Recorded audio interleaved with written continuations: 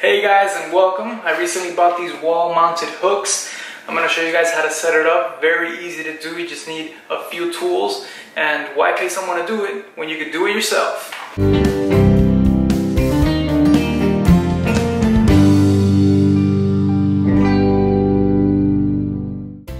So first things first, we want to make sure that we have all the right tools. Of course, we need the actual wall mount that we're going to set up. And luckily the wall mount did come with three screws, with three drywall mounts and the three little caps that we're gonna put in the holes after we put the screws in there. Now, of course, you need a Phillips head screwdriver, a drill with a drill bit, and a stud finder. Although this won't be carrying heavy weight, we don't necessarily need the stud finder, we can mount it straight into the drywall, but I'd like to make sure that if I can get at least one stud, I'd use that. Important that we have a little pencil or a pen for our markings, and super important, a level to make sure that at the end of the day, our work is nice and level.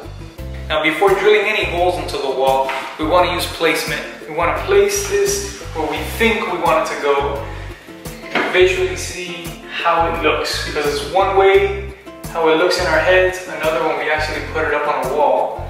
So I think right around here is good. Now this may shift a little to the left or to the right, depending on where I find the studs, but now I know this is where I want it to go.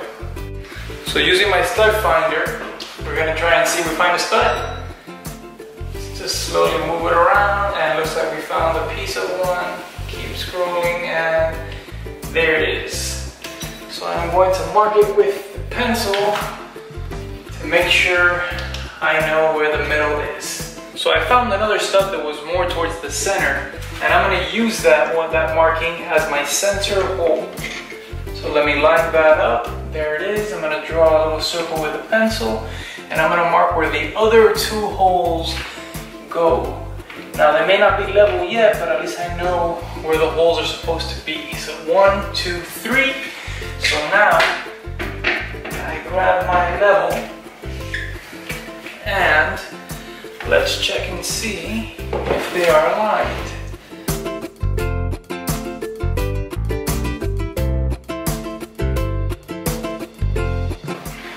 Now I wanted to be a little fancy, so I used this air grip laser level. And pretty much I can see, I can adjust it how I want. It has a laser and it gave me the straight line to really make sure everything was uh, nicely aligned. Time to drill some holes.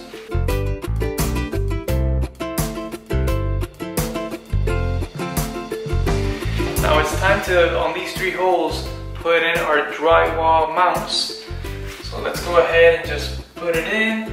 Now you want it to be a tight fit, you are gonna have to push a little bit. What I like to do is either use a hammer or the bottom of the battery of the drill. Just push it in. Let's use the next one. Now again, remember, if it doesn't go all the way in, don't force it too much. That just means that the drill bit that you use was a bit too small, so you can go one level higher to make sure that it fits. You want a nice, tight, snug fit. Now let's put the third. And now we're ready to put the screws and the mount. So the first thing I want to do is use the middle hole. I'll place the screw through it first. That way I, I can use it as a guide.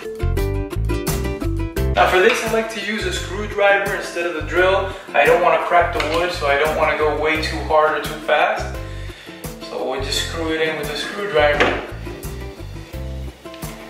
And I like to go all the way in on the first try. I just want to have it there for placement. Now that I know more or less where it is, I'll get the next one and I will look for the next hole.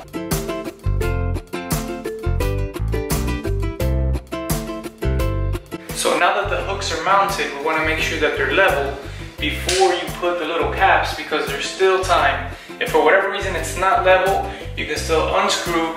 This is pretty thick that we could probably move up about a half inch, open new holes to make sure it's level. But let's check this out. Let's place it here and voila. Let me see if I can get this closer. Check that out. And now the last step is to just get these little caps and place them where the screws go. So there's number one, two, and three. There you go. Good as new. Nice and sturdy. Time to use it.